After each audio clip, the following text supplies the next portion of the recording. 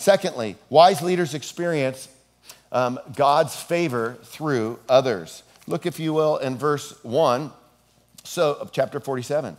So Joseph went in and told Pharaoh, My father and my brothers, with their flocks and herds and all that they possess, have come down from the land of Canaan. They are now in the land of Goshen, right? Get them over to the land of Goshen. Get them like, place them where you want them, right? And from his brothers, he took five men and presented them to Pharaoh. Pharaoh said to his brothers, What is your occupation, right? Isn't that something that, like, what is that about, like, guys in particular, like sizing each other up all the time? What is your occupation? Right? And I've told you before, like, I just, I want to dig a hole and die when somebody asks me what my occupation is. You say, well, why? Stand proud as a pastor. Well, do you realize the kind of, like, image that pastors have? It's like if you're a lawyer, a pastor, or a car salesman. So I've told you before, when I'm on a plane and someone asks me what I do, I just say something like, Uh, I'm an astronaut, retired. And I just sit in that because it feels so good to see the way they look at me. And I'll be like, yeah, I've been retired for a little while. I've done a couple space tours. One time I said, I'm a brain surgeon. And the person's jaw dropped. They're like, you're a freaking brain surgeon? I said, yeah, I've been working on the brain, you know, brain surgeon. And I just play with it. And then eventually I go, just kidding, I'm actually a pastor. And then that's when they like open the window up and just shut me out for the rest of the but what ends up happening is, at least in that moment, they've thought, okay, well, he's got some humor with them because I don't want them to have a, I don't know what stereotype. When I say I'm a pastor, I don't know what they're thinking. Like, God forbid they think uh, that, like, oh, so you wear a white suit and smack people over the forehead at church on Sundays, right? Um, but nevertheless, I digress, and you stress, and I make a mess And I look for the next verse. so Joseph went in, he told them, and guess what? They are now in the land of Goshen, verse 2. And from his brothers, he took five of them, right? He, Pharaoh said, What is your occupation? And they said to Pharaoh, Your servants are shepherds. And so basically, what ends up happening is Pharaoh hooks a brother up, right? He, he hooks Joe up, and Joe gets the hook up, and his people get the land. Now, here's what's amazing about this. Here's Joseph you know, God used him in such amazing ways to take care of Pharaoh and all of the land and his people. And now he returns the favor. Now, Pharaoh acts a little bit differently because do you remember when the story happened between the cupbearer and the baker? And the baker, Joseph says, Hey, remember me. Um, and he told, to the, or he told the cupbearer to remember him. But when the cupbearer got back before Pharaoh, he forgot him until later. Pharaoh wouldn't forget Joseph, he remembered Joseph. And that's pretty cool, especially when you see God's favor moving through non believers. Think of Esther going before King Ahasuerus, or Nehemiah going before Artaxerxes, or Daniel going before Darius. And you can see that God can even give people favor in your maybe non believing work context. He can literally use people. Why is that? Because the king's heart is in the hand of the Lord. Like channels of water, he directs it wherever he wishes. And so Pharaoh then ends up giving favor to him, and God can even use non believers to be a blessing in our life. So don't be surprised by that, right? God's moral law is written on our heart. Can a non believer um, you know, still do good things? Of course.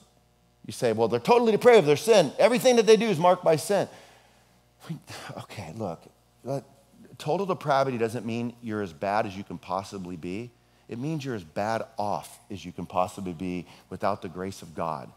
So, the, the reason we can see non believers still do good things is because they're created in the image of God. The difference is the believer gives glory to God and credit to God for the good that comes out of their life, where a non believer might think it's because of their own goodness, and that can reinforce them in being self sufficient instead of being God dependent. And so you have these wise leaders, and how cool Pharaoh is taking care of them. Third, wise leaders provide for family needs when possible. And that's actually something that I put in quality, or, or I put basically at the end, if possible. And here's why take a look at verses 11 and 12. So in chapter 47, we see in verse 11, and what does it say? Then Joseph settled his father and his brothers and gave them a possession in the land of Egypt, in the best of the land, in the land of Ramses, as Pharaoh had commanded. And Joseph provided his father, his brothers, and all his father's household with food according to the number of their descendants. And so it would have been real easy given the rejection, the betrayal, the selling him off into slavery to forever hate his brothers. But his brothers ended up basically recognizing their wrongdoing, and there was reconciliation, and that provided a way for Joseph to be able to help his family. So there's situations sometimes that, that you all have to be aware of because the Bible will use language like, hey, the child that doesn't take care of his parent the believer doesn't take care of his parent is worse than a non believer. But here's the worst thing you can do as moms and dads don't ever have kids and then put the pressure on your kids to be your source of retirement. That is a burden that is overwhelming. It is hard enough to come up with your own retirement than to expect that to fall on your kids. Should kids help mom and dads when they're hurting? Of course. Here's Joseph, he's helping, right? There's a, there's a certain need. But sometimes what can happen, and we know some people that have been a part of our life, where we have went to great lengths to show help. We've tried to offer wisdom. Yet, when financial help's the only thing wanted and not exercising in wisdom and learning from mistakes and stuff like that, then you might get put in a position where you have to put some boundaries up. And then that can get really ugly and create family tension, and it can be really, really challenging. So, in general, yes, we want to always be able to help our loved ones and our family.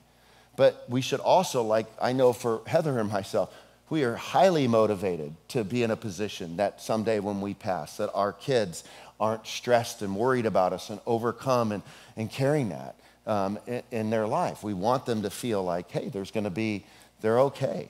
And I'm just saying that there are ways that families can fall apart when it starts coming to it, like, oh, how the will's going to go down, how things are going to happen. And you have to be careful. We should always want to help. But when help is not wanted in a way that ha- might have some boundaries, or when somebody runs through everything that they have and then they don't want boundaries, and if you let them, they'll run through everything you have, that's when you have to go, man, Lord, help us. And that can be challenging.